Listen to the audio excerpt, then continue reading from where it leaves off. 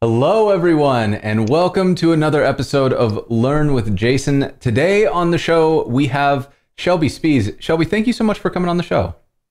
Thank you for having me. I'm really excited to be here. Uh, I am really excited for today. So I, I, I was telling you before the show. Um, usually, when I do a, an episode of Learn with Jason, I'm like somewhat familiar with the material, so I'm just kind of pretending not to know what's going on.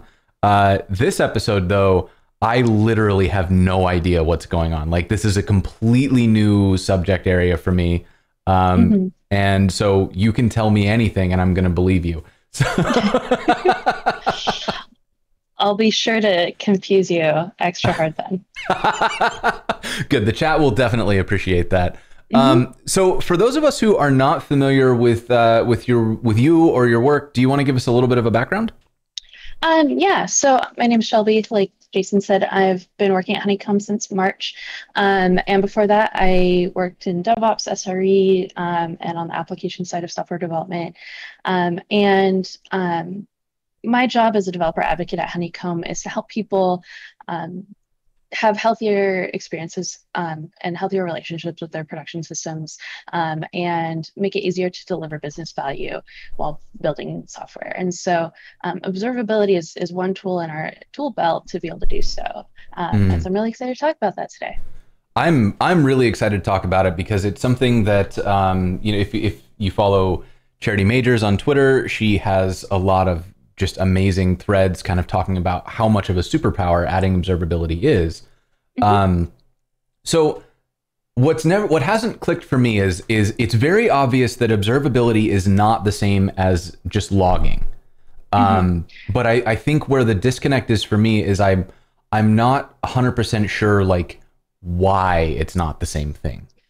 Yeah. So um, the difference, the the textbook definition of observability for software is can you um, can you ask new questions with the same data? And the thing with logging and with traditional metrics is it's it's a very like static data data structure that mm-hmm. you can't like slice and dice in new ways. Um, you, your logs are, are, and especially your, your metrics, if you've ever used stat metrics to try and debug or do um, like benchmarking on um, on like anything application level mm-hmm. you have to be very it's like hard coding the exact like axes of data that you you want to include and so the idea with observability is you want to send lots and lots of fields in your structured data um, that and, and and you can use structured logs to, to support this um, and there's there's a lot of different ways to do integrations with observability um, my favorite way is to do um, sort of framework level uh, integrations that know what, for example, an HTTP HTTP request looks like. Mm-hmm. Um, but but the thing about the structured data is you need a you need tooling that allows you to slice and dice that data later on in novel ways. So it's not just about the data structure; it's also about um, tooling that you can you can ask novel questions and you can start to interrogate your systems and learn new things, even for for things like that you would never think to log before. Um, and so. Okay so good observability tooling supports sending a lot like like big wide um, structured events with a lot of context and charity talks about this a lot where um, you know just send everything um, and and and then later on you you never know what might show up uh, what might become relevant. And and so your tooling allows you to query by all these different sort of novel fields that you would never like you uh, like an arbitrary example is like i had no idea that users whose favorite color was purple were having a slower experience you know like something mm. that's like mm. so arbitrary right um, and then the structured data that you're sending also supports tracing um, because you can just build traces out of a um, out of the same data data structure, you just add a start time, a duration, and a parent-child relationship. So you get that nice waterfall view. Oh, uh, if you've ever seen if you've ever seen that in um, tracing tools. And so and, um, and the yeah. way that that would work, like so what what we're talking about here is mm-hmm. instead of the trace being something that comes out of the code, the trace comes out of having sent the data. So this would go across application boundaries even. Like if you were yep. logging from two different, like your your front end and your API, you could theoretically yep, exactly. get a trace all the way through. Yeah, that's and that's exactly how distributed Oh. tracing works. Is um, when you when you send uh, when you make the uh, API call to your backend, you send along some of the trace data so that um, when that gets uh, sent over to your observability tooling, they can it can reconstruct the entire distributed trace. That's incredible. Um, Yeah. I mean, in like, so the the teams that I've worked on definitely did not do that, right? So we got to play this game of kind of bug whack a mole where we would find a bug in the front end, and then we would Mhm. kind of go to the back end and be like, "Did we get an error over here? Like, let's look at the logs." And then if we could find the error, we would like, "Is the timestamp about the same? Okay, let's let's see if maybe we can reproduce this with you know." And it was just, it was completely it, it felt very like I don't know, guess and hope for the best. Uh, Yeah. That's that's cool. Yeah, and, and that's exactly the the debugging approach that like most software teams have to take, where you're sending sort of disparate data that that's it's not like you, you can't you can't account for like this was one request between the front end and the back end. Um, it's or like maybe if if you you're sending really really rich um, uh, logs, it's possible, but then you start to have to like make these cost trade-offs. Like do we want to keep all these like super verbose logs? You know it's really expensive to index and parse all of them. Um, you know my, my log aggregation service is charging me you know uh, so much money. And so um, versus having data that's just contextual and and like upfront where you already have like you, you don't have to do all the string parsing because you already have like just the key value pairs that say like oh like we know what user this was or we know what um like the the request path was or we know what the api key was if, if that's something you, you're going to send um, and so uh, then you can start to query by these different fields across Mhm. all of your traffic uh, so not so tracing is great for the, the very deep like okay i know this this is the part of the code that's a problem um, and I want to go dig deep into see where, um, you know, what what exactly was happening at that point in time. Um, Mhm. and so all, all your context fields are really useful for that. But what if if you have questions that are like, um, you know, where in the app is slow? Which endpoint is the slowest? Or you know, who is experiencing like the worst latency or who is experiencing the most errors or things like that that's Yeah. a, that's a question you want to ask across like all of your traffic over time um, and so your context fields allow you to slice and dice like a- in aggregate as well as in in these very like narrow um, specific requests um, and so that's what observability is to me is being able to like seamlessly move between sort of these big broad questions Yeah. um, and then narrow down into um, like okay this is weird how often is this weird thing happening and then you can like zoom back out and start to ask those like big broad Yeah. questions again That's Um, a, and it's that's just- really cool. And so so this I mean this sounds like a dream, right? Like this sounds like if if everybody had this sort of uh, if everybody had observability in their systems, it would be so much simpler to say like, hey, we're having a weird production issue. Let's figure it out, and you could just figure it out. So, um, what's what do you think has prevented people from kind of adopting this approach? What it, it I guess on the face of it, it sounds like it would be really challenging to get right. Um, yes. So, so there's two things that are challenging about it.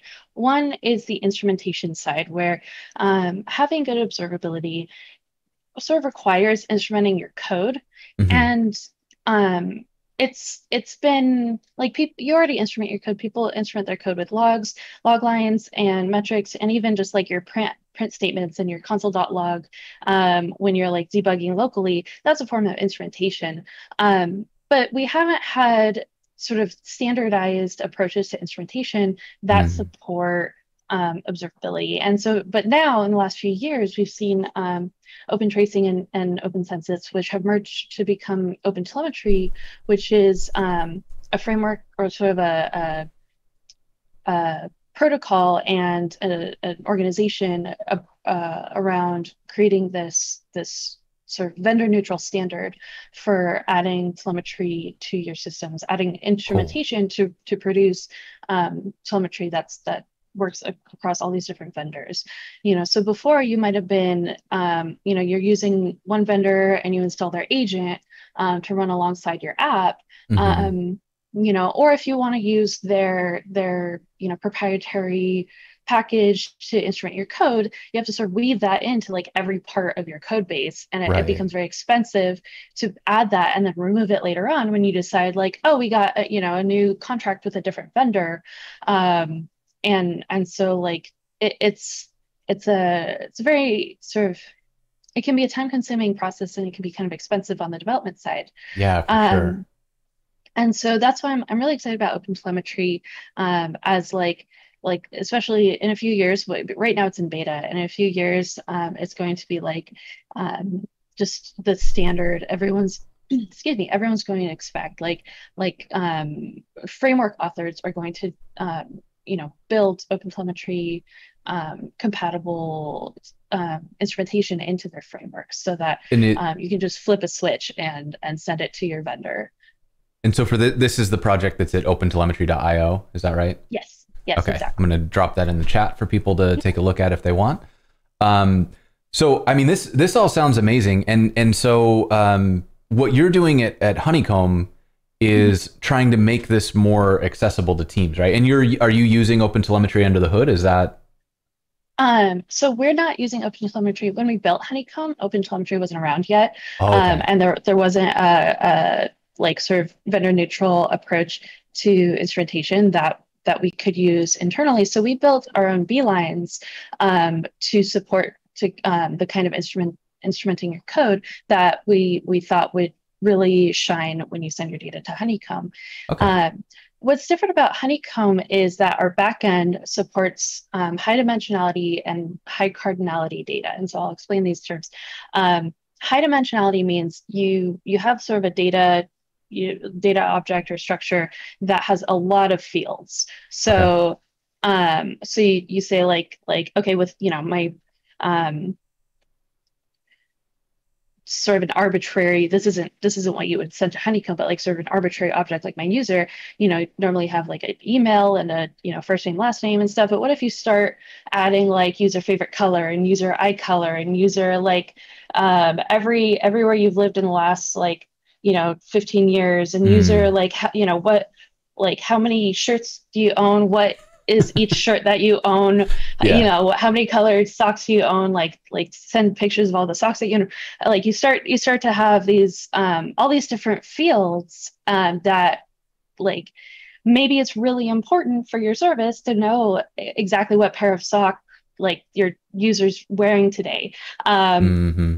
so um, so that's those are all the dimensions all the fields that you include with your your data um, okay. and then high high cardinality cardinality is just how many possible values can a field have um, and so for your user email that could be just like anything right like there's yeah. millions and billions of emails out there in the world um, something like a build id if, is, is continuously like incrementing right You're, you sort of mm-hmm. have infinitely you know, probably some limit, but potentially like infinite builds that you can have out there. And so um, to be able to filter by or query by a specific build ID is very, very hard.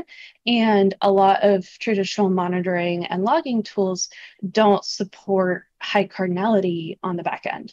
Um, okay. And so conversely, Honeycomb was built specifically to support this. Um, gotcha. And, and we had to build our own like like people say like don't build your own database, but we have basically had to build a we call it a uh, distributed column store. It's not a database, a distributed okay. column store in order to support um, querying for high cardinality fields. Um, and so so that's sort of the difference, and and that's the thing that um, you'll see when when we um, if we get to the hopefully um, I, I, trust that we're going to get to the point that you'll be sending data into honeycomb and you'll I believe in exactly us. what this looks like um, but yeah, and so that's basically like the the why it's important to think about observability in this sort of unique way when it comes to software because um, it's more than just like I have like metrics or I have logs. It's can I interact with the data I'm sending and ask like novel questions and um, learn new things mm-hmm. without having to deploy new instrumentation, without having to go in and add new lines of code. Yeah. Um, and so, and that allows you to um, and this is something that like um, our customers do. That's something that we do internally where there's some incident or there's some issue and we go back from like a week ago or we go back to like last night, you know, the on-call person was able to mitigate the issue, but um, they weren't able to debug it um, entirely at like two in the morning. Um, and so the next day, you know, with a full night of sleep and some coffee, sure. Um, we can go back and look at our telemetry data and it's it's has all the context there from from the issue back in two in the morning. Mm. Um, so we don't even have to worry about trying to reproduce it um, quite yet. We have everything there from when it happened the first time. Um, versus like I don't know if you ever had that happen before, where people are complaining about your service and and you're like, okay, like um, well, I think this is a problem, and then you deploy something to try and like monitor that, and oh my, it's yes. not. Yeah. Uh, yes. And um, Whack a mole debugging. What, it's my favorite. Mm-hmm. Uh, that's exactly what like observability protects you from. It's, it's, it saves you from all of that. Just like um, I like to call it armchair debugging when people are just like sitting at their desks, like, well, it could be this part of the app, so maybe you know this and that and this and that and and um, and then they like add some add some new metrics and add some new log lines and turn mm. up you know the debug level and then um, and it's like totally just a completely different part of the system, right? Yeah. Um, and so so so so i'm really i'm really excited to just like it, it's like an order of magnitude m- more like productivity for engineers and it, it's it's really, really, exciting nice. it's and, and like satisfying for us to to like really engage with our systems of production not just when there's is- issues and incidents but like just learning you know how users actually behave um, and and and so it's it's just there's just so much potential there and i i'm really excited because i, I think this is going to be just how we work how yeah. how high high productivity um, engineering teams work over the next decade so um, so that yeah, that's so really exciting. Um, and we're already like we haven't even started writing code yet, and you're already getting a lot of love in the chat. Um, there's love for your your lights in the background, which I am also I'm very jealous of that. That is super cool. Thank you. uh, but then Taylor says, uh, I always knew Open Telemetry was good, but all sorts of things just clicked in my brain after listening to Shelby, and I'm an even bigger fan. Um, so we're we're already making inroads. And then Swarlo says I should not have used up my brain today. I I'm with I'm with you there. This is a lot, right? But I actually I think this is like this is why I was excited to do this episode because I think mm-hmm. that what what we just talked about, like what you just explained, is mm-hmm. like a lot. Um, there's there's so many moving parts. There's so much to get your head around, but that's what you're working to kind of abstract away with mm-hmm. Honeycomb, so that I, as the developer, I don't need to know all of that. Like it helps for me to understand it but ultimately, what I'm able to do now, and and maybe we should just switch over and start doing this. But I mm-hmm. I'm just able to like install this thing, and I mm-hmm. get the benefits without yep. having to become an expert in instrumenting for observability. Yep, and that that was exactly my experience. Um, I started following Charity on Twitter in like early 2019, um, and I was I was just like so overwhelmed by all this terminology, um, all these like new concepts. I was like, I'm you know I don't I'm not a I don't have a master's in computer science or whatever. Like I don't understand this stuff, but mm. it I, and so and I and I was what my, my on my last team we were honeycomb users um, before I even started working at honeycomb, and so um, it got I, and I, I, remember being sort of like overwhelmed in the beginning like i don't know what steps to take to do this so um, part of mm. my job is making things easier so you don't have to be an expert in all this stuff and you can just start getting the benefits right away so yeah let's let's uh, dive in Let's do it. So I'm going to switch over to pairing view. And uh, we're, we're looking at a couple things right off the bat. So first, this is the Open Telemetry side. I dropped that in the chat. I will uh, I'll drop it in again for good measure. Um, I will also drop in Shelby's Twitter. Make sure you go follow her on Twitter. Um, and we're going to be looking at Honeycomb, uh, and we're going to be adding it into Stream Blitz, which is my uh, my little like overlay package that we're we're looking at now that's actually a little bit broken. I saw people doing boops in the chat. I'm very sorry they don't work yet. Um, so we'll get there. Well, th- this is why I need observability. I have no idea what I broke, and this will help me find it. um, but before we dive into the code, let's do a quick shout out to our sponsors. The show today is being live captioned by uh, White Coat Captioning, and um, that is so great. I'm so happy to have that. That is available at lwj.dev slash live if you want to follow along with the captions.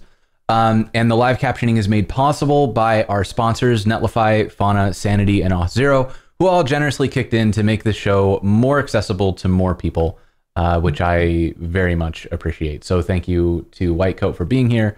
Um, and thank you to the sponsors for for making this possible. And you can, as I said, head over to lwj.dev slash live to get that uh, in your browser.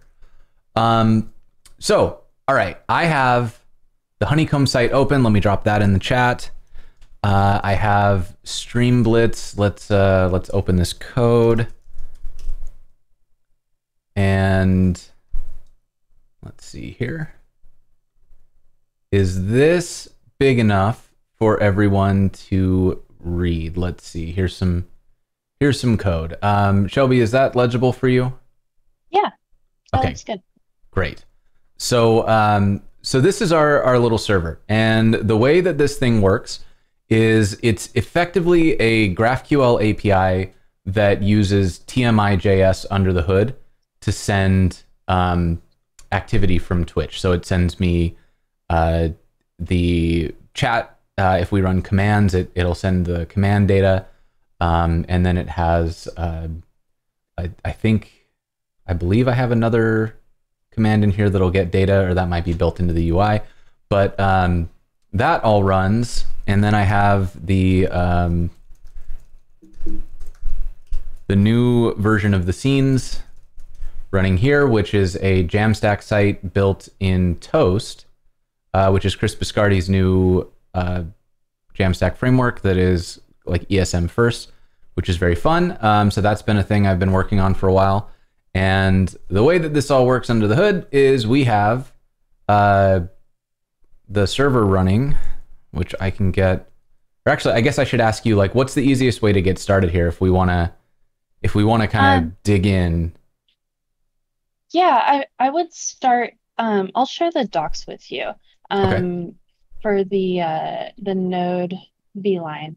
Um, our the, so Beeline is our sort of cute term for our SDKs that um, hook up with your app and generate telemetry data and send it over to Honeycomb itself. Um, so what you're going to do today, right now, is you're going to add a package to your Node app. Um, You're going to add an API key to the configuration in your app.js file. And um, then uh, you're going to run your app and maybe hit some endpoints and watch data come in.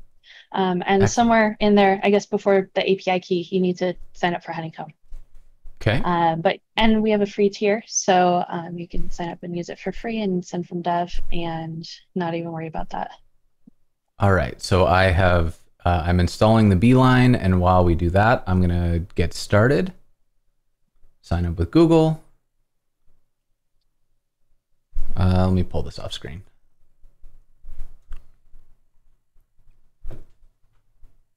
Okay, so I'm just logging in with my um, Google account if I can find that.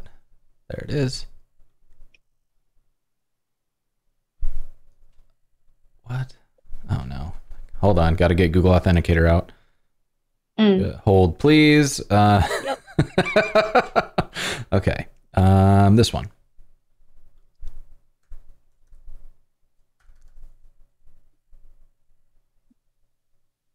Okay, so I have uh, I have signed up for Honeycomb, and we will call this Stream Blitz. Or no, wait, have to I have to create a new team. So I'm going to continue. Um, okay, so I'm probably gonna have to roll that after the Yeah. Um, stream it's it's easy to change to in your team settings. in my team settings, and those are Uh, when you team click your name. settings. Mhm. Okay, and so if I just edit, I'll be able to. delete it from there. If you want to Oh, I guess I need to Um, create a new one first. Okay, so I'm going to create yeah. a new key that I won't show anybody. And Mhm. then, uh, so we'll call this stream blitz. Uh, save it. I've copied that one and I'm deleting the other one. You hackers, you you dirty hackers. That's exactly what you are. Um, Okay, so now I've I've just disabled that key and it is Cool. gone. All right, so now um, I'm gonna go back to, I guess the dashboard. Oh no, that continues to show me the thing. I'm gonna yeah, so now it's just waiting for your data to come in. You can click around um, and there's some examples. Uh, there's some like, um, here's what this page does sorts of things. But Okay. um, at this point, yeah, it's basically just, um, I think if you click the get data in button in the app, it'll just have like a little spinner, like, we're waiting for your data. right, and I think that showed me the API key. So I'm gonna. Oh, yeah, uh, don't, yeah, so don't share that. Yeah. So let's take a look That's a- at. hmm I think good what I can to do think here. about. Yeah, good. can send my uh, honeycomb API key. Is that what you call it in your docs here? Um, yeah, I mean, I think you Oh, it's can, set. Yeah, I can it's it just, yeah. want. Okay. So there is my honeycomb API key. It is saved and now available to us. Mhm. And that means that I can do the next step, which is here, Yeah. top of my app.js, before any require or import statements for other packages. Okay, we can make that work. So let me copy this. And I'm going to go to my server. Here's my index. Um, can I put it after .env or Um, I think, yes, I think you have to put it after .env for it to use your environment variable. honeycomb API key? Uh, my data set. I don't think I had a data set yet. Yeah. Um, so you're gonna create when you send your first events, it'll automatically create your data set. Um, so you can sort of just call it whatever you want. Um, usually just the service name, like, yeah, or just yeah, exactly. Is that okay? Like to tell me like which part of the Stream Blitz stack it's coming from, or is that Yeah. is that how you would do it? Or Um, there are a few different ways to organize your data sets. Um, if you if you want to separate them by service, um, I would do it that way. If you want to separate them by environment, let's say you have a development environment, development data set and a production data Oh, set. okay. Um, a lot of teams do that, especially if you're using distributed tracing. Um, So that's actually a, a thing that we're right now we're in the process of making um, our onboarding docs a lot more straightforward. Um, and give a little bit more guidance around the the naming and stuff. Um, but Okay. yeah, So Mhm. that makes sense. So uh, right now, I, I this service is just for me, so I do everything in production. So I'm only going to have one data set. Um, And then the service name is the one that I chose, right? When I created my team. Mhm.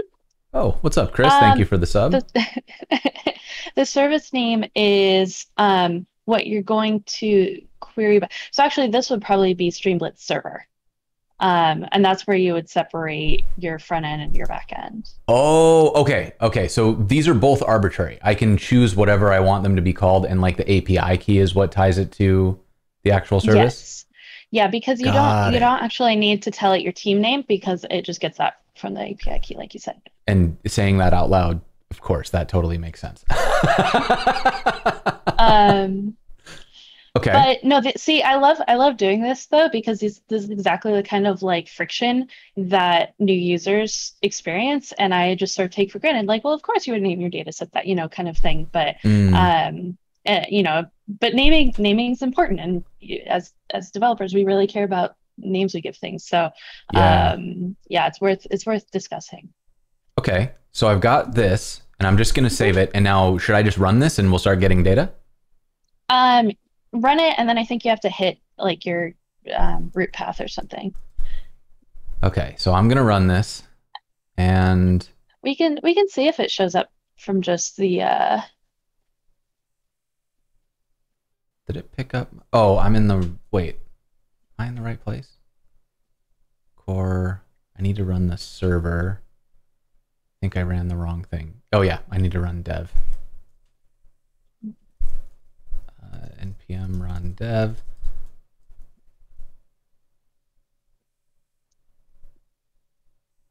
What don't you like?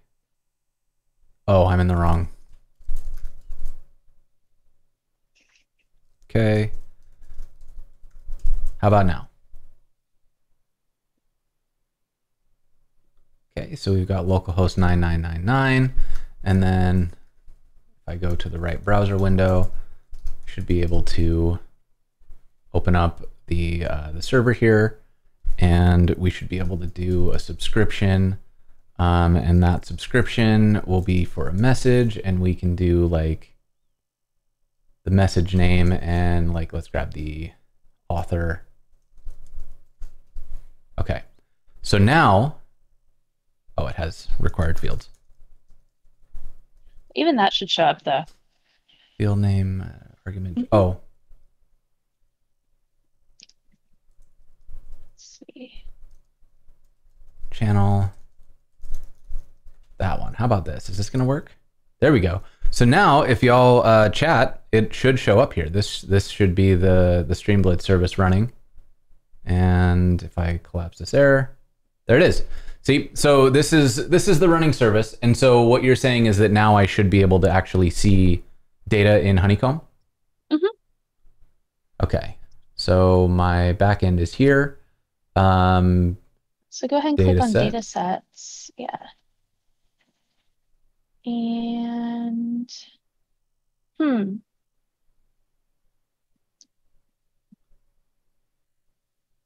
Uh, let me pull this off for one second just to make sure that I have the right data. Waiting for data. Okay. So, did I do something? I clearly did something wrong, but it's unclear what thing. Mm.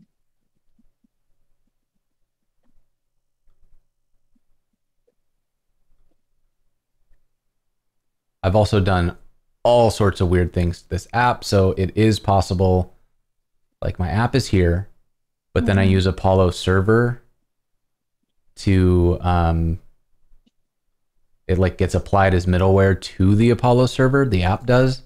So we're actually doing like a ser- like a server.listen instead of a standard thing. So maybe I'm maybe I'm out of the beeline happy path here.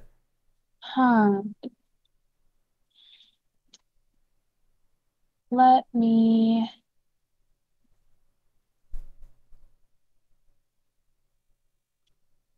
That's certainly possible.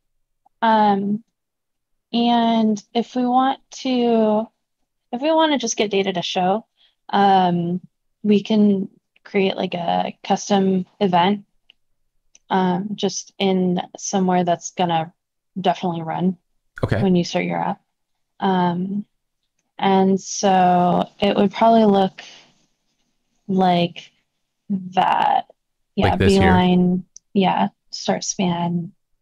Okay. Um, And then to get that in, I need to do a beeline. All right. And so up here, can I just do like this? Or do I need Um, to include it again? I think that should be fine. Okay. And so then once I have Yes. that, I can do this beeline with span. Okay. Um, and let's have it run like here, and we'll say, hello, chat. Um, and we can do like a, just any like arbitrary whatever. hmm Okay. Um, so we can do something like return,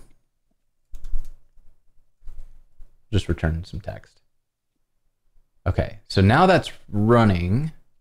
It rebooted for us. Mhm. And so theoretically speaking, that should do the thing. So let me reload the page out here. And did you do any things?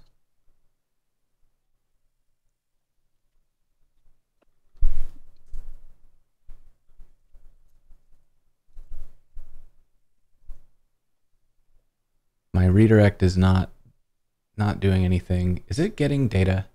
Hold on. I'm wondering now if it's not loading the environment variable. Honeycomb API key. Did I typo this? Honeycomb API key. Mm. Um, let's.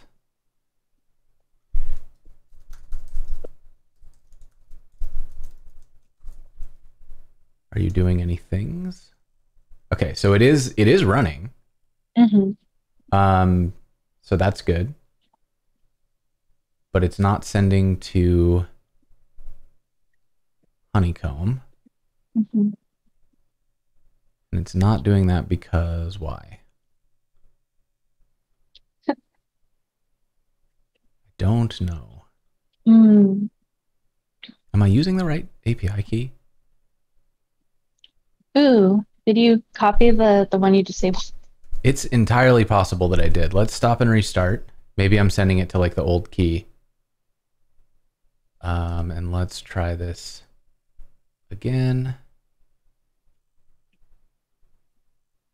It says we're waiting for data.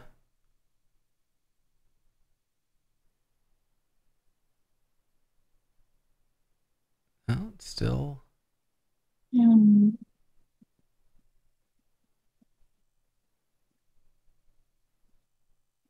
Uh, okay, so here's what we're gonna do. I think I'm just gonna roll this API key at the end. Let's bring this over Yeah. so that we can see what's going on. And uh, so I'm gonna make sure that the API key is coming out at all. Um, so we'll just log that and uh, process.env.honeycomb API key. And are we getting it? Let's check here. Okay, so we do get an API key, Mhm. um, but it's still not showing us data.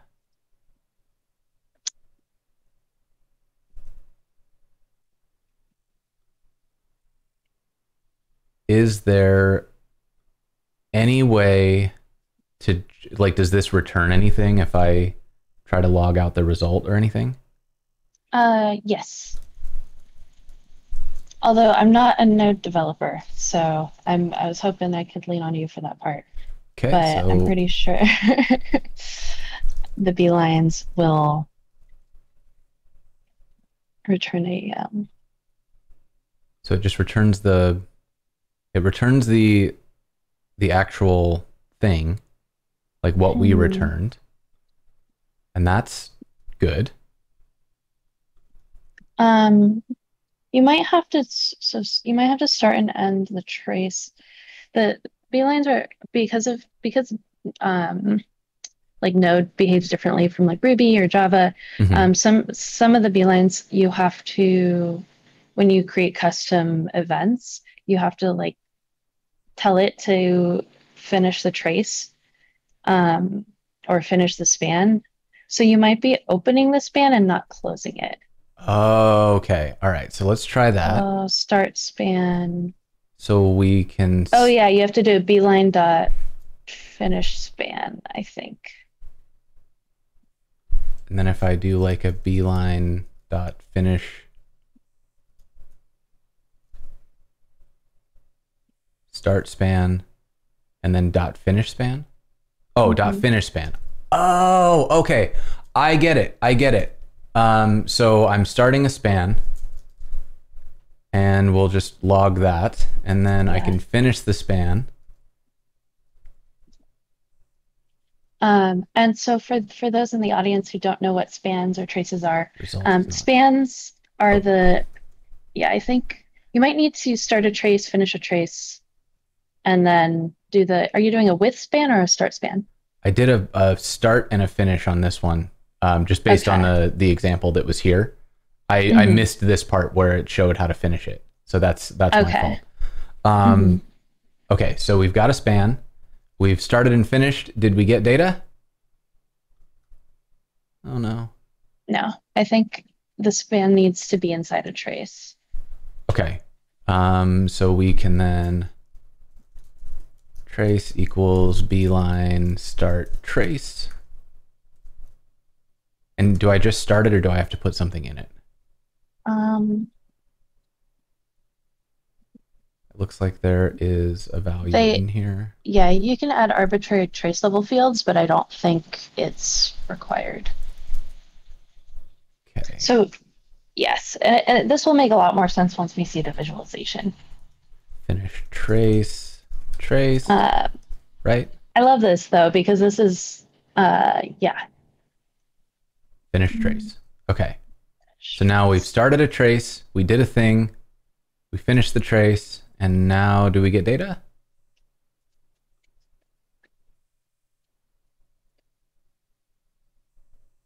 Huh.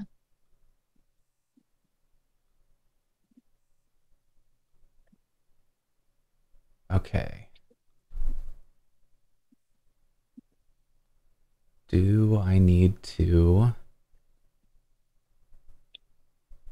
So someone in the chat said that your subscription events don't end.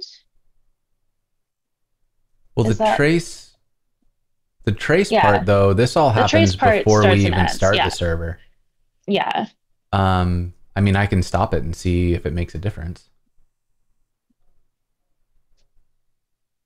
Uh, see if yeah, that pro- yeah, that makes. I'm like, nah. Um, Express user context. Just, have studied the node beeline a little bit more. Um, see, this morning I tested this out on an example app and it works great. So, I- um, let's see, instrumentation name. Oh, do I need to tell it to? The data set is optional. If you do not specify a data set, it'll it'll default to Node.js. Express. Enabled instrumentations. Oh, do I need to do this? I think they're enabled by default. Uh, if you want to disable automatic instrumentation, Yeah. okay. because I, I literally for the for the app I did this morning, and I might just have you try that, um, because I I don't know your GraphQL setup enough to to help you, but um, I did the quick install and I got data in. Um, Okay, let's let's go ahead and do that just to to make sure Yeah. that we um, that we've got something here. Uh, Yeah. So which where did I where would I find that app? um, it's the real world um, Node Express example. Oh, so it's not it's not there. It's not a honeycomb. It's um, real world Node Express. This one. Oops. This one. Yes. Okay. Um, or that might be a fork of it. Here. Think uh, Thinkster. Yeah. That's the one you want. Mhm. Okay. Um, sorry, I'm I'm between two computers, so the chat on the one that I'm that our call is on is Oh. not available to me on the one that I'm working on. So I, I have to like sense. yeah. Um, okay, okay, okay. So let's let's get this thing cloned and downloaded. Mhm. And I'm gonna do that over here. We'll go back this way, and we're gonna git clone this, get into it with the Node Express. Um, and then let's just open it up and take a look.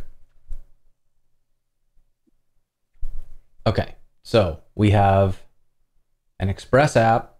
Um, it looks like we've got quite a bit going on. So there's like Mongoose and MongoDB in here. Um, hopefully it doesn't make me, I think I have Mongo. I guess we'll find out. Um, so let's, I probably need to read the instructions. How about that? Um, yeah. npm install npm install, and then I think yeah, npm run dev. I think I have MongoDB. We'll find out soon, I guess. Mm. Um, and then worst case scenario, we do have a play demo data set at Honeycomb. Um, but I always like being able to poke at the code and Mhm. at the um, at the tool. Okay, I do have that. And um, so I probably need to start this Mongo container. Mm. Um, I don't think you need to start that. I think um, as long as you have Mongo running locally, Okay. Um, oh, you know, probably the container is, has interesting data in it, like test data. But um, Oh, this will okay. get data into Honeycomb.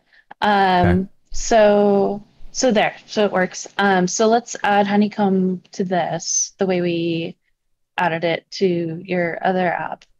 Okay. so Um, I'm going to grab this wholesale. And we can drop it right at the top. And I'm doing it like it says in the docs with, um, change this to LWJ. Uh, okay, so this is a that uh, honeycomb beeline. We've got our write key in here. Um, Mhm. We've got a data set, I service name, and Does it- hopefully, It's going to know about your write key because it's local to your entire environment, right? It's not just It's- um, definitely not. So why don't we, uh, for the sake of like we've already we've already blown this environment variable, and I'm Yeah. gonna have to roll it anyway. So I'm just gonna put it straight into the code. cool. and we'll we'll deal with that part later. So here's our uh, API key in place. That's all running.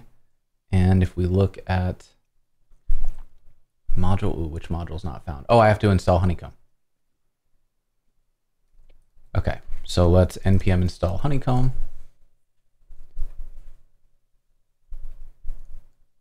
And then we'll start it again. Okay, listening on port 3000. So let's go hit port 3000.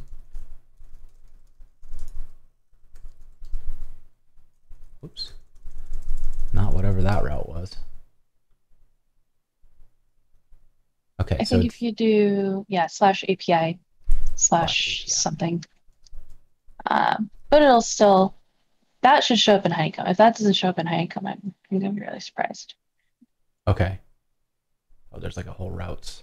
Routes everything. Yeah. Let's hmm It's a, it's an uh, MVC sort of uh, API for um, got it. Yeah, like okay. a medium medium clone. Yeah, articles. Yep.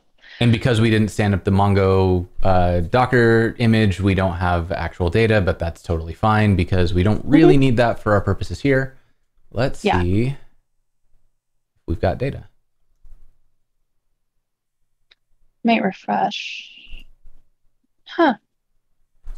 I wonder, maybe I set up my API key wrong because I was just clicking buttons and not thinking about it very hard. So maybe, maybe what I did was, uh, let me create one.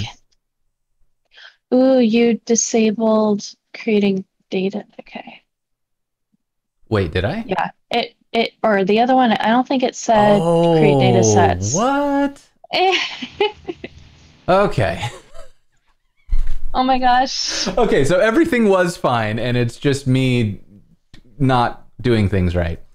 Okay, um, so maybe we should just try this one again, and let's see if this happens. Uh, good. All right. Well, but I mean, this is good news. This is this is because I uh, don't know what I'm doing, and not because something was actually wrong.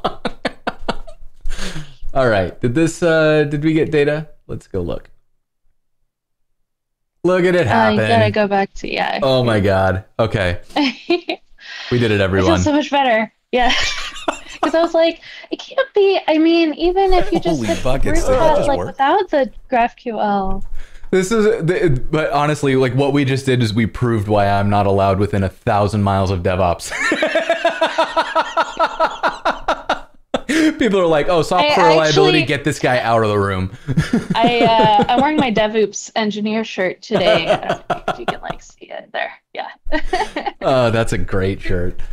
Yeah. Um, Firebase sent it to me. I got it from one of their events. So Excellent. Okay, so I'm I am Mm-hmm. so happy that that was just me doing something wrong and not uh and not like some bizarro bug. Uh, okay, so but this is great because now what we have is we we should have uh, this came out of of Streamblitz and not out of that demo app that we made. So Mm-hmm. we should be able to look at real data here. So I'm going to stop that Thinkster app and we'll just hang out on this one. Mm-hmm. Um, and so now that I have some data, what like what would I do? Well, I guess where do I start? Like, what's the yeah. Um, so we would normally see that in this view, this is sort of the the data set overview for your Streamblitz Streamblitz prod data set. Mhm. Um, and you you um at the top you can see the the visualize where group by order by that's your query builder. Okay. Um, and then below that, the suggested queries for this data set. Um, since you don't have a lot of data yet, we're, we're not really giving you interesting queries yet to try, but um, here we can see the overall distribution distribution of latency, um, how slow are things, and the events that you've sent. Um, so go ahead and click on that where it says heat map. Um, the the graph, yeah. And you should probably also close the sidebar just to the the gray the dark gray sidebar just to make it a little easier for people. how do I do that? The uh, I think if you scroll down, um, there should it might be because you're zoomed in so much. It, that might be a little bit we have. Yeah. Anyway, Oh, there it you is. can close Okay, that side. Yeah. yeah, I I do have the site. Um, I'm on a like a small resolution too, so I Yeah. okay. Um, so so you see on the very um, right hand side those three little tiny boxes. Um, those are the events that you sent. Uh, or it's for the heat map, it's sort of when some something was sent for this period of time and Okay. how slow that was. Um, I also like to do in, in the at the top in the visualize box, we're just gonna um, I'm gonna have you type in something. Uh, type in uh where? Sorry. uh, where it says visualize in the query builder. So scroll up. Here. Yes. Okay. Um, and then you're gonna type, yeah, count, or just click on count. Okay. And that's just the number of events. And so you can click run, or you can do a shift enter, whichever is easier for you. Um, and now you should see two graphs. Oh, cool. Okay. hmm So then if I run Uh, this, um, now like chat events and stuff should go through. I'm actually curious if the chat events are going to get traced. 'cause that'll be really interesting if they just if it like just works. Chat, where are you when I need you? Yeah, here we go. Yes, you should absolutely be spamming chat. That is correct. um, okay, so we've got we've got some data coming in, and if I rerun the query, let's see Mhm, what happened. mhm. I also Yeah, we got a bunch of events. Cool. Can you scroll all the way up um, and click on the where it says last two hours, and we'll just do last 10 minutes. Okay. Uh, so we can zoom in a little bit. And and yeah. And so there's a whole bunch of events. And so let's just click on one of those. Um, yeah. Any any of those circle dot things, perfect. Okay. And so that takes us through to a trace. Um, and so this is a trace with a top level root span and no child spans. Um, and so that what this tells me is either it's not picking up it like you're not the way your app is set up doesn't use our auto instrumentation. That's probably Okay. the case. Or um, yeah, no, that's actually probably the case. Um, I had this happen with the um, Express app that I was doing, but it's because I was hitting, oh, I was hitting the root path instead of the API slash articles or whatever. Um, and so the articles looked great. Um, and then the 404 from the root path was like not really interesting. Um, so, but yeah, you're scrolling, I saw you scroll down the fields in the sidebar. Um, Mhm. and so that is all the context fields I was talking about earlier that um, we're automatically sending with your HTTP requests. Um, so things like user agent, things like um, request path are Mhm. handy to um, query by um, Well, and, I, and I'm already thinking of things that would be super useful. Like, for example, we can see that this was sent over HTTP. We can see that this Mhm. was sent on localhost. If I'm debugging production data, I would immediately strip all of that. So if somebody's like running a local server and trying to hit our APIs and getting weird bugs, like Mhm. they're they're not following, they're not using our tools anymore. So I can kind of ignore that in my like, oh, what a weird edge case. Like I don't care if you if you're hacking our system, like whatever, get out of my Yeah. data. Yes. yeah and, and that's actually a thing that comes up with um, a few a few of our users who have pen testers and they'll they'll see that the pen testers are just sending junk data Mhm. um, and and it'll show up in honeycomb a- as part of the fields and so it's like oh okay we, we know to like you know uh, turn get take take away that person's access or whatever it's it's like really clear that that's what's happening Mhm. um, yeah. So um, it looks like um, so we, we can go back to the query view, um, query results. Uh, so this is the trace view, and yeah, the, that's the query results view. And um, can rerun and just see. Yeah, not a lot's happening since then. Um, yeah, I wonder. I think. th- Mhm. and this is the kind of stuff where like I I need to instrument this for real because I think I get Yeah. like odd timeouts and and all those good things. Um, So Yeah. we can start adding um, like deeper traces and custom fields. I would, Um, yeah, I would love to kind of look at how we could do that, um, especially when we get into kind of more more custom data. So, Mhm. like for example, um, we have this TMI.js chatbot, and it does something like uh, we like listen to connection states and and stuff like that, and you end up with like one client per connection. Um, And the way that I'm doing this now, I think it works. Not super clear if I'm like duplicating this and creating a million TMI clients whenever somebody tries to send a chat. Um, and the flakiness points to the fact that I'm doing something wrong, but it's been very difficult to figure out what or why Mhm. it's been Mhm. flaky. Um, and like you know, this is being demonstrated right now on the the overlays where uh, Nikki's comment is there.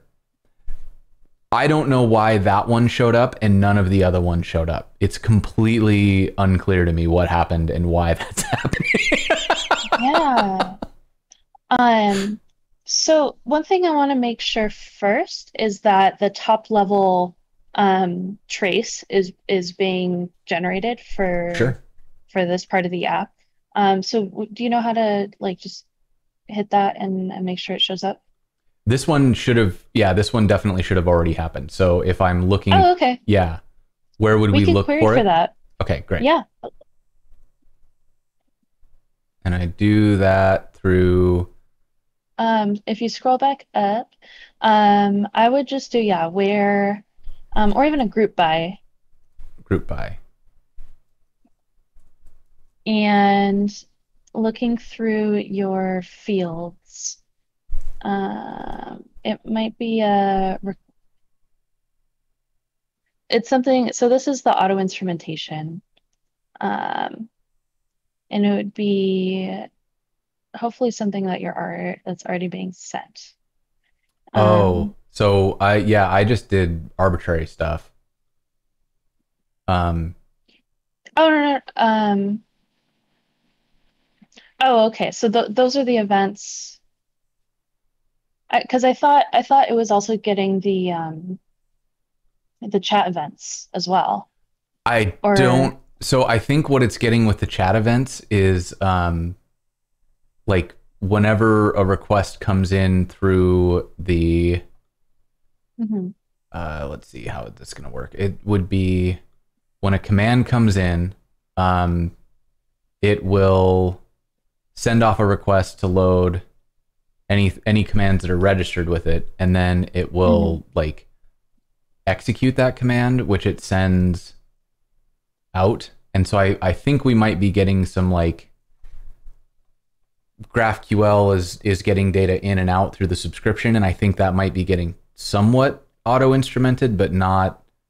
I'm not Not 100 completely. percent sure. Um, Okay. Yeah, th- this is Um, the, this what- is the part where I've kind of melted my brain, right? Because we're we're doing Yeah. WebSockets and Express and GraphQL and and like a an event like an IRC engine basically. Um, uh, One way to check that is to see what, or the way I would check is to see if in Honeycomb, if all of your events have that hello um, field. okay, Because you add, um, so I would just group by field, like field one, I think was one of them, and then hello was one of them. okay, and it looks like I don't Um, think I'm not even sure it's sending that part. yeah, and that's um, real. Oh, it didn't, it didn't like that. Um, go ahead and remove the custom trace you added remove the from custom. your code. Yeah. Um, Okay, it's it's out of there. and then, yeah, and then we'll see if new events show up from the auto instrumentation. okay, Um, and that'll tell me whether we need to do a whole lot of custom stuff or just a little bit of custom stuff. all right. So we have restarted this. I'm reloading the page. Um, let's run just like a regular query and see what happens too. So I'm gonna get the channel. and we'll get the description and the status and the stream. Just trying to get a some of the data here. Um, Mhm. I need to actually include one. So this is data about the stream itself. Um, so here's where we are right now. Mhm. Um, that should have given us some data. So let's run it. And here are, There. That's some new stuff. yeah, it looks like a bunch of new things happened. Um, where, okay, so what, uh, what, I would do, let's do a group by request path or group by, um, because that's not interesting. Request dot post path query, request dot query should, Okay. should be your GraphQL query, right? Um, and then scroll down to your query. Okay, then no, that's not, okay. Well, um, That's fine. Um, and this is where, well, those are old now. Let's see what time it's. maybe I need to run it again. Yeah, do it, rerun the query. Um, no, yeah, go ahead and click on one of those. Just sort of any any of those events in your um in the graph. And we'll just look at the sidebar and just see what fields show up. Yeah, so we got GraphQL, base GraphQL. URL. Yeah, so it is sending post. data because that was from a minute ago. Request, it's not. And hmm. it looks like the the query I think is maybe not getting auto picked up because I Mhm. I think this would just fail if that uh, if that Mm. was the case. Um, Yeah. Yeah. Okay. This is. Run that again. And then go back here. Run that query again. These happened at what Just time? now. Just Okay. now. This trace had mm-hmm. multiple spans without parents. They're beautiful. Oh, that's perfect. Okay. What this tells us is that um, all of this happened in the same request and the same trace with the same trace ID, um, but there's something a level above that that's Hmm. not getting included in the trace. Okay. Um, unless unless it's doing something asynchronous. Sometimes when it's asynchronous, um, and you click on the the trace too quickly in Honeycomb, it just hasn't gotten all the data yet. Um, so there might be some earlier. Definitely possible that that's the case. Um, oh yeah, there we go. I don't know how. It's not complaining anymore. Oops. Oh, beautiful. Yeah. So there, there you go. There's your a, a little bit more interesting trace. Yeah, and so this Um, ends up going off to Twitch, and so that and that makes sense because we're hitting the um, the API for for that. Uh, Mhm. We're hitting. Yeah, good. Look at it go. Cool. Yeah. Um, so can you think of um, so you, you know where this happens in the code more or less, and so can you think of Mhm. any like custom fields that you would want to add um, to like answer questions that you might have about this part of the app? Yeah, uh, we can do that with. Um, let's go to parse Twitch chat. Where do I actually send this? Like, I need to get my Twitch data, and I'm doing that in my schema probably, and that happens here. So I would want to. Nope, not in there.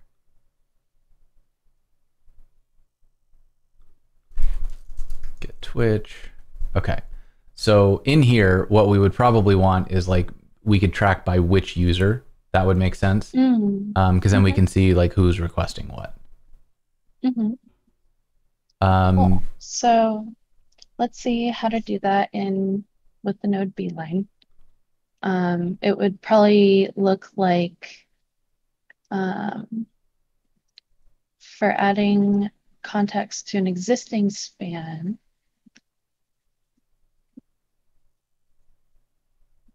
Yeah. Beeline.customContext.add or beeline.add context. beeline Oh, dot add okay, context. yeah, you don't beeline.add context. So let's try that and see.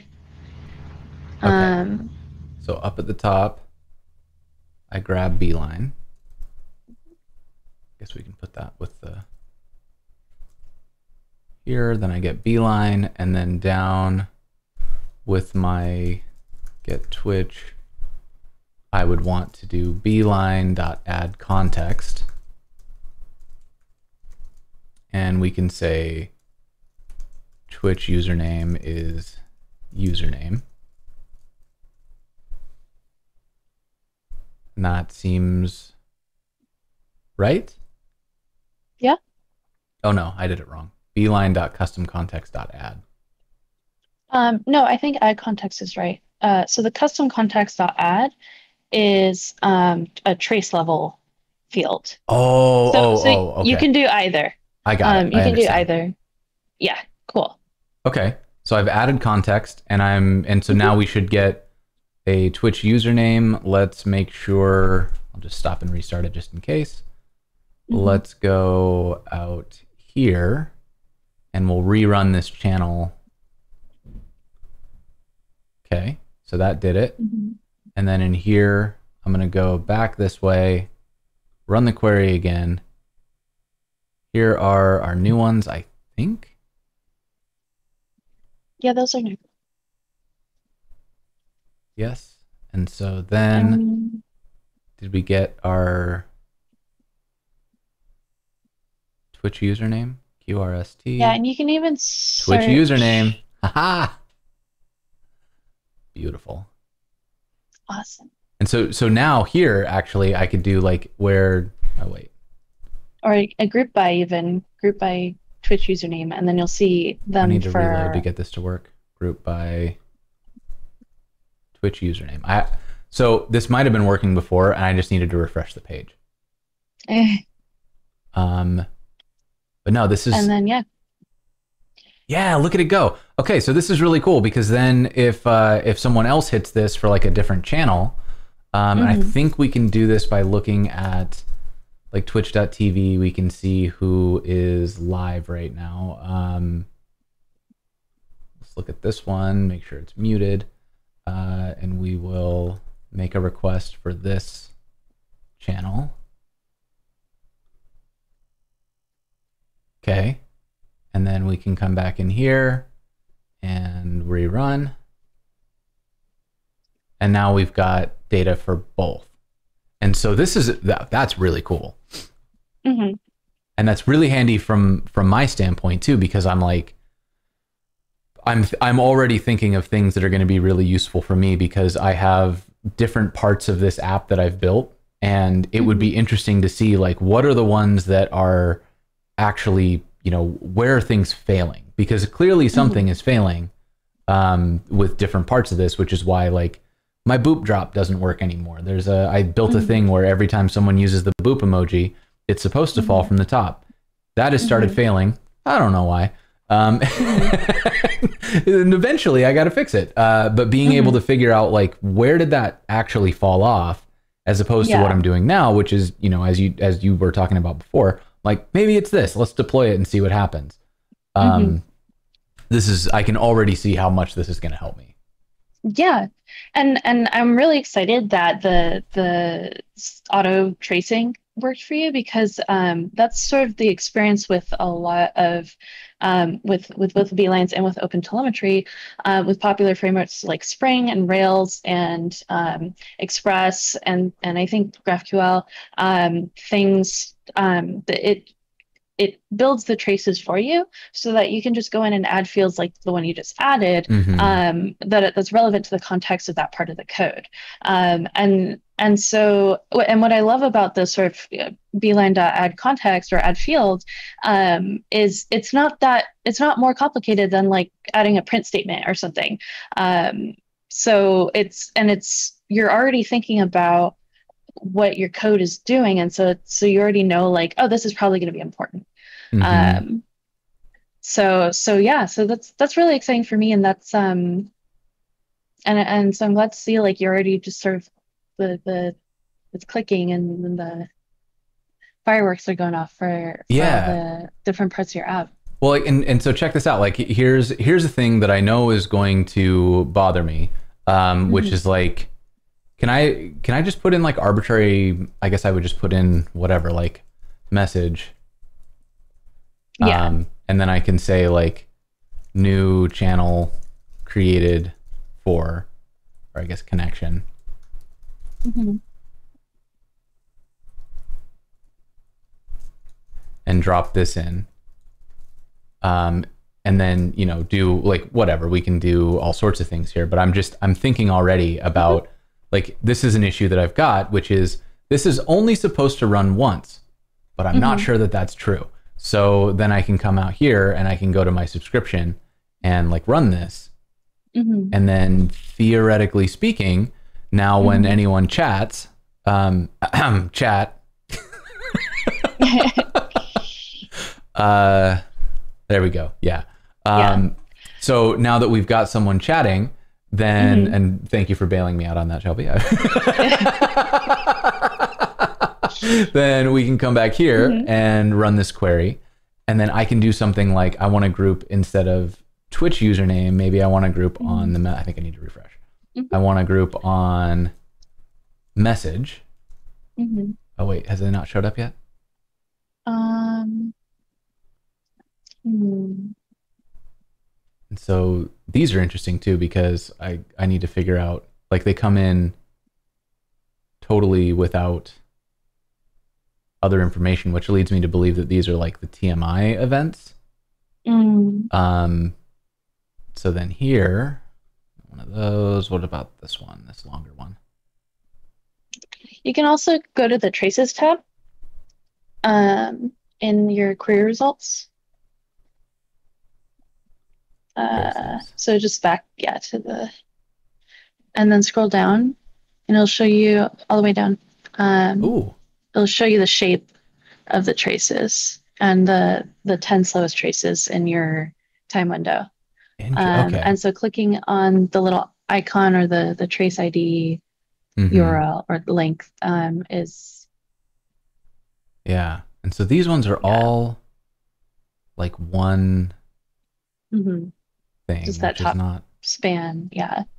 Um, so there, you're probably going to have to go in and add a little, add some custom traces or custom spans to wrap around that part of your code. Yeah. Um, but you've you've created a custom span before, so um, Yeah. Uh, so So that, that should be pretty straightforward. It's still really interesting that this is like just the the fact that this is possible at all is is very very cool to me. Um, hmm And so if I want to do a, a custom span, then I can go down to this part here, adding spans. Um, and it was this. And so yeah, start span. Mhm. go down in here, And so what it usually looks like is the start span is before that part of your code, and the finish span is after. got Um, it. so it wraps around the entire block of code. Okay, so then I can I can put this here, um, and then finish the span. I guess this kind of this kind of does its whole thing. Um, so that one's not. This isn't a great example, but we can we can put it in anyways. Um, do I have to start a trace? Um, no, if you saw the top level span and for for this part of the code and you just didn't see the nested spans, then it should already be inside of a trace. Okay. Okay. Um, so I'm going to refresh this page. I'm going to run the query and we're going to look for message. Still not there.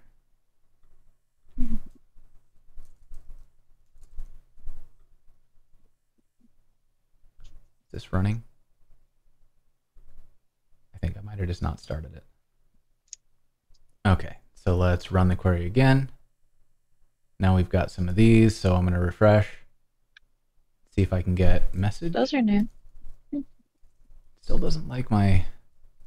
Mhm. It's also entirely possible that this part of the code is just straight up doing something weird. Um, because the whole thing happens like this is the part that I get confused by because it's I'm going Mhm. from like point A to point C back to point B and then looping around to point A again. Mhm. Uh, Yeah, I would and- I would say if we're not sure, then um, let's just start a trace on around this the span and just make a new trace because um, it might not be picked up by the beeline automatically. Okay, so I'm starting my trace and then beeline finish trace. Ooh, um, your code isn't inside your span. Oh, is it does it have to be inside the span? Yes, Oh, okay. Okay. yes. Um, That is Yeah, so that it- whole thing like- is hmm. How am I going to do that? Let's see. So let's do this and then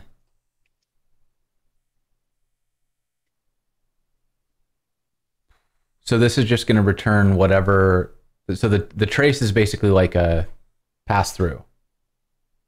So mhm. whatever I return before is what it will return if I if I wrap the thing with it. Um, so, like that span, span. It's here's the. Um, if you look in the Beeline docs, I just want to make sure we're on the same page. Um, the adding spans to a trace or starting new traces section. Okay. Um, so we start a trace and then we start a span. Um, and you see how um, a little bit below that, Uh, let here span with equals the start span. Yeah, add the fields, and then you're doing some file writing in your example. Mhm. So so that's just where your code would live. Um, or the the with span for asynchronous stuff. Okay. So I, I um, think I need with span because this is Yeah. asynchronous. So we're gonna go beeline with span, Mhm. and then I just return this. And in here, Mhm. I can. I don't know how that's going to work, but we will cross that bridge when we get to it. So let's get this part out of here. Get this part out of here. And instead, we need to finish this around the with filter, which is here.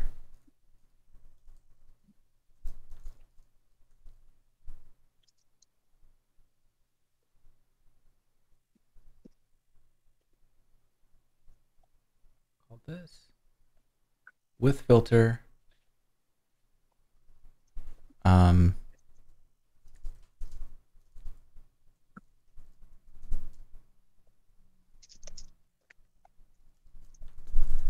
let's see, we'll call this um, like subscribe. Then I need to figure out how to get this part. Here's our variables. Then we create our chatbot. Good. And then we've got our payload and our variables. Good. And I did this at the wrong place.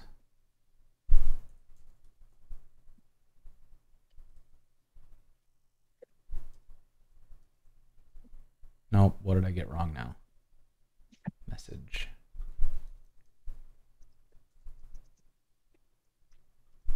Oh boy. Payload and variables.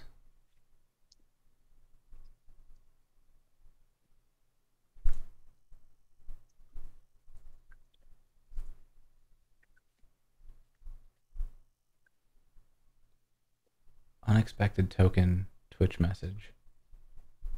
Okay, I'm gonna get here eventually. Mm. We've got Does Does it make sense why you wrap the span around your code though? Um, that's what gives you the start time and the duration um, for that chunk of code. yes, it does. It does make sense, and I'm just trying to figure out Where the get all that. curly braces go. And the parentheses, yeah.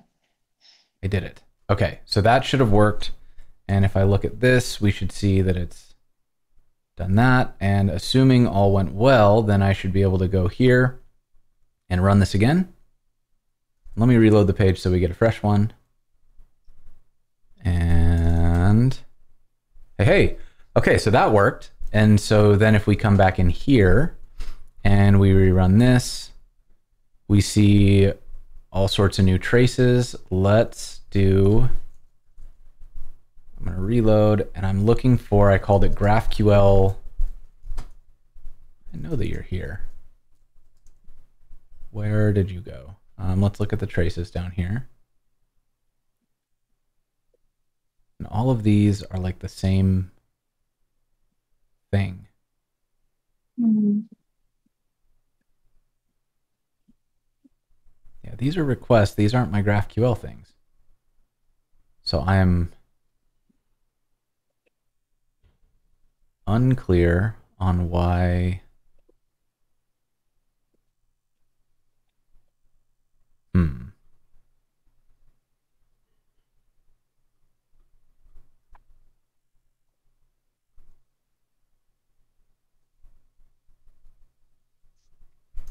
It might just be like GraphQL subscriptions do not play well with this, but I'm still super confused as to how this could return and function and not log like anything. Mm. Do I have to end the span with a with span? I don't know. Um, I don't think so. I'm so used to living in like Java and Ruby and Python where I'm I'm like rarely doing this asynchronous stuff. Um, yeah. So it it honestly it might just be that I'm like not remembering how Node works, which is Yeah, I think uh, with trace with span, it's running. so it says with span object Yes. And then a function that returns okay after you've added all the spans so do I, I still need to start a trace I think you might need to start a trace still. okay so let's do that i'm going to uh, how do i do that the async stuff is hard Mhm. So I'm returning this object which has the trace inside of it. And it's that's being exported. And so maybe then when I get my resolvers create resolvers, I'm calling that here. So maybe I like beeline start trace Mhm. and beeline finish trace. And I need to capture that. Whoops. This one. The other thing I'm wondering is if you're the way you're adding the um what was it? The your custom context, your field that you Mhm. add, if you need that to happen alongside the code instead of at the beginning of your of your span. say that one more time so I've I've got my Yeah. So your beeline with span, I think your GraphQL operation field, Mhm. I, I'm not sure it goes there. Oh like should I add it as context you mean Yes. so beeline add context hmm Yeah. Let's try And that and see if that shows up.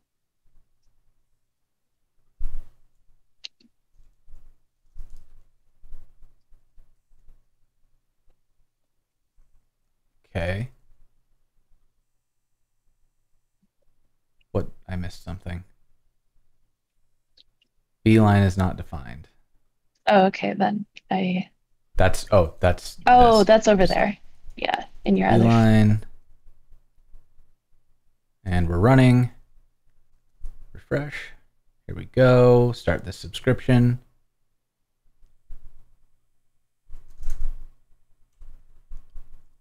you got a fan in the chat what's up java grunt um so then let's run this query again we've got things happening and let's see if we can get GraphQL. Man, it really doesn't want to. Yeah, nothing found there. Um, oh, it did find span field this time. That's Interesting. It's not nothing, Okay. I guess. Or wait, So it found So it, but I it didn't re- use it. that's that's a. hmm. All right. I think I got to do a remedial course in the Node Beeline. I think I, I Um, need to. Uh, I maybe th- this may have just been a like getting into subscriptions may have been the wrong, the wrong thing to try right out of the gate. Uh, Hmm. Just because it's this is like this is definitely the most Mhm. confusing part of of building servers. I think is when you get into any kind of Mhm. real time stuff. So Yeah. probably this is just my fault for doing way too much stuff here. Um, maybe what I can do is like move this trace down.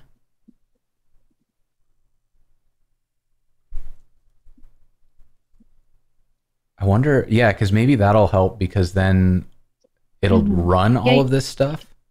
Yeah, you want you want to start your traces. Maybe I should have said that earlier. is You want to start your traces at like the highest possible, like earliest possible point in when the code's running, Oh, because interesting. you want to like cover all that ground.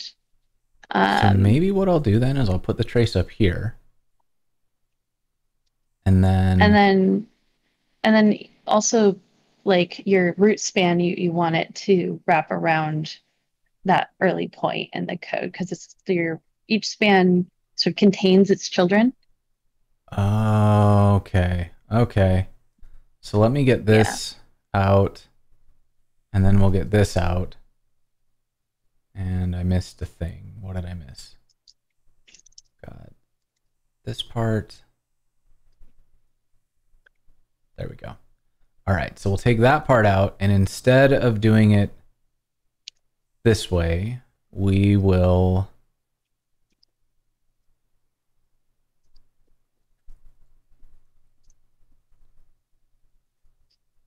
maybe just do it this way. So the whole app now runs inside of this um, main main span. And I will finish my trace outside of it.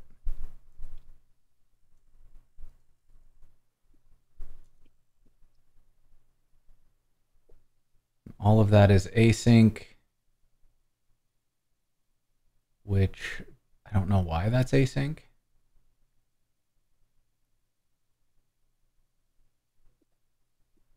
Main.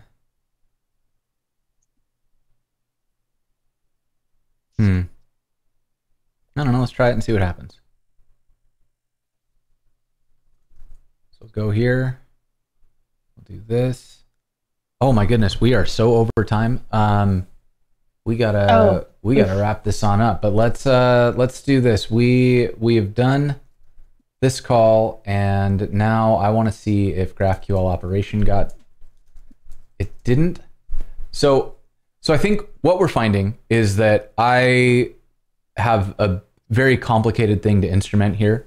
Um, but what we found that was really nice is that for the the happy path of like doing standard GraphQL queries, uh, this works so well out of the box with like no no issues. So um, we can just say Twitch username equals Jay Lengstorf, and we can run this query. And do we not do this in the Might last need 10 to minutes? expand it out. Yeah. And is it is it uh, not quoted? Oh, I think it's Twitch. Uh, yeah, remove the quotes maybe. There it is. So no quotes. Um, Yeah. But so then we can, you know, this just like this just works, and we get this beautiful trace where everything immediately shows us kind of what happened, where it went, what it took, and all I had to do to make that work was install the beeline. Everything else that we did today was me trying to instrument GraphQL subscriptions, which is like async on top of WebSockets on top of all sorts of things. So um, with that, Shelby, where should people go if they want to uh, learn more? Um, follow me on Twitter. Um, uh, the Honeycomb uh, website has lots of resources, especially the blog. I help run the Honeycomb blog, um, and we'll be posting more soon about in- introductions to observability. Um, and I also, you've inspired me now. I'm going to sit down and I'm going to really learn. Um, how to instrument asynchronous applic- uh, node apps. Um, and so I might even just do a stream where I try and do exactly what you're doing today on, on a similar application or even on your code. Awesome. Um, and that's you do that on uh, on Twitch. yes, um, just my first last name, Shelby Spees. Excellent. Uh, my shout out command is broken. Or wait, is it? Did I just do it wrong? There it goes. Hey, at least something I built works. um, so yeah, uh, Shelby, thank you so so much. Uh, one more quick shout out to our sponsors, uh, Netlify, Fauna, Sanity, and Auth Zero for kicking in to make uh, make it possible to have white coat captioning here to do the captions for us. Um, make sure you go check out the show schedule because we've got a lot of really exciting stuff coming up. Uh, later this week, we've got Monica Powell coming on to teach us about web mention, which is really, really exciting. Um, next week, we've got Ben Ilegbodu. Um, next week is also the the Jamstack Conf, which if you have not gotten a ticket for that, it's free, it's fun. Um, it's going to be amazing. It's going to be a lot of good time. So make sure you go and uh, get your ticket for that. Jamstack Conf ticket here. Um, yeah, go go get that. Uh, chat, as always, thank you for hanging out with us, Shelby. Thank you again so so much. I really really appreciate it. Uh, chat, stay tuned. We're gonna raid, and we will see you next time.